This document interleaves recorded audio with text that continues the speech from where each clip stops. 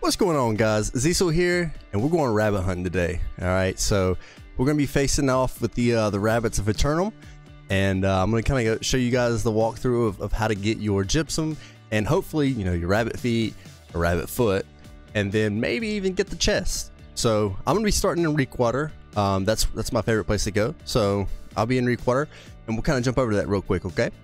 Alright guys, so we've made it to where we're at. We're going to be going outside of the climb um, this is where I'm picking for a good area. It's uh, Reekwater is obviously a higher level area, so I'm hoping that the correlation is higher level area, higher level rabbits, um, a better chance to or a faster chance to get the the, the storage chest drop from the rabbits. Um, pretty much almost it's like an 80% drop rate for the rabbit's foot from whenever you kill the rabbits, and uh, whenever you're looking for them, you know you'll have your compass at the top. Mine's probably covered, but uh, they're gonna look just like this. Big rabbits. If they drop a uh, rabbit's foot, it will be a purple. It'll be a purple drop.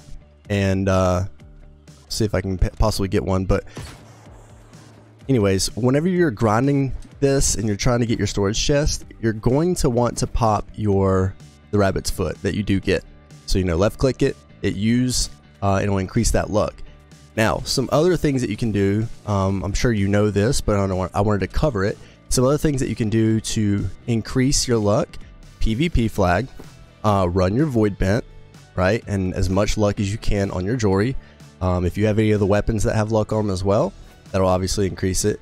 But really, it's the PvP flagging up and then running your void bent and then your major loot luck trophies. So I definitely recommend running those. Um, this is a good high area. I don't know if that's going to help, but I'm just assuming it will. I'm really hoping so a lot of areas that you can go and kill rabbits are going to be super contested right now. So normally people go to Restless Shore, uh, Rabbit Island. That's a good area, but if it's contested, you know, there's Everfall, there's there's uh, Brightwood, Windsward, Monarch's Bluff, Cutlass Keys, uh, First Light, all these areas that have rabbits. Um, and so my favorite is going to be the climb, just because it's not going to be super contested. I can run my PvP quests in between, and it'll just it should just work out perfectly. So but like I said, pop your rabbit's foot while you're grounding this and uh, just, you know, use whatever weapon you want, preferably one with luck on it. Might have a higher chance and faster.